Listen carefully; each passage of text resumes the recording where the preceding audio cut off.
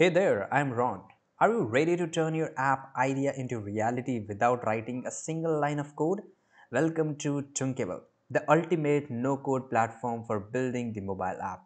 Whether you're a beginner, entrepreneur, or educator, Thunkable empowers you to celebrate professional-grade app with ease.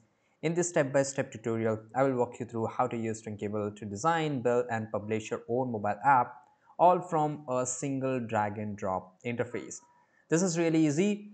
Now, first of all, you have to just go to Google and search for Thunkable. Let's go back here and click on this first link. Now let's go to the pricing. Obviously, it's going to play a huge role. Uh, monthly is a little bit expensive than yearly. You can just go and compare the pricing here. They provide you three tier. The first one is completely free up to three public projects and five screen uh, per projects. There's a builder that most popular, right? Pretty affordable. Now this is a hundred dollar which is one is the advanced one. Now click on try for free and let's try this one. It provides a lots of features, right? So uh, the features are drag and drop interface, cross-platform support, customizable components and real-time testing, cloud storage and API and there's a lot. We will just uh, we will just look into this video obviously. I will use my Google account. You can use your normal email address if you want or just like go with me. Now once you have logged in, it will choose you. How are you planning to use Thunkable?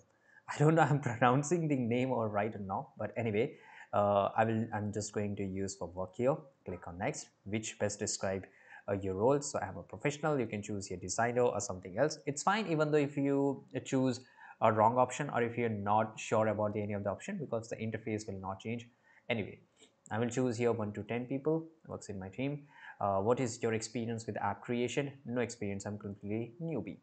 How technical are you? Not very technical right because I want to see each and every feature which I can explain you. Very first thing which you need that is let it open. Let me just go back here. This is my workspace, right? You can create new workspace. First of all, let's go and create a new project. So I will just write here test project one. Now this is category. I will choose here. This is regarding business. You can choose anything else here.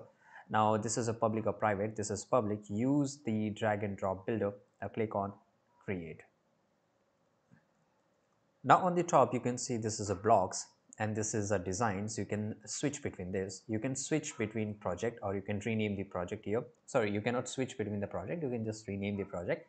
Now this is screen one. Obviously you have to if you just want to create a different screen click on create new screen on the left side. Let's go one by one by here let's go one by one here. This is a design section. So first of all, this is a screen one. So here, let's say I want to create a button. I will click and hold and drag it here. Now the button has been created, right? Now I can just resize the button. Let's say I want just big button. Describe the text you want. Uh, I will just write here normal button, right? And I can search for it. Now, obviously, I think it is integrated with the AI, but somehow I think it's it's not really good. Let, let me, okay, we can try from here. Create a red button. Press the enter. Okay, it doesn't. Red button with the white borders and the word press in bold white titles. Oh, this is not good because somehow the button color is in blue. But other than AI, I think the other features are really good because I've used myself here. You can add it now for example i want to add a label. So i can just go and click on label here. Now put it in this way. I can even describe it and everything here right? For example this is it. And the markings you can see here the center alignment is pretty cool. Now let's say i want to change the color right? I can just go and click on change the color. I can just make it to the red. Okay this is a text color. I can change the font here right? And let's say i want to go with the black here right? Now this is essentials. I can just make it bold italic or just raise or whatever it is. You can just put it right? Now this is really a good feature. Now you can just disable this or enable this. You can see here. Uh, disable enable it means you want to turn on this button or not right? So this is button. I can change here the button name and everything right? And you can change the layout for example right? Just like if you have used figma then you might be pretty the features are pretty similar because i use figma a lot you can change here the visibility right? Now you from here I can change the color of the button. This is yellow I can go and choose any other color here. Now I can just put a shadow here. So I will just go and put here black shadow right of the text. And this is border so I want to put a border. So first of all I need to select a color right? Let's say I select a black color here right? And let's go back. Okay and I want a dotted line right? Somehow it's not showing up. I don't know why but it should show up right here right? Even though if I just zoom it now I cannot see anything here. But in your case if you face the same issue let me know. You can navigate to the screen so there's only one screen.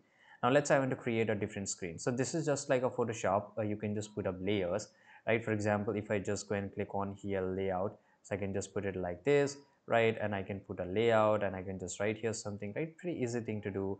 I can just drag in and drag it up here. For example I want to put it here a container 2 I can rename the stuff. I can just delete it from directly here.